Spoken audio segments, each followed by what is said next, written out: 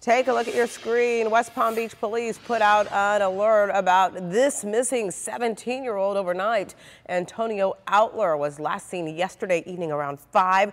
Police say he may be a danger to himself. He's about 5'10", 200 pounds with a tattoo Brene on his right arm. He was last seen wearing a red or white Palm Beach Lakes football jersey. If you've seen him or you know where he could be, call police.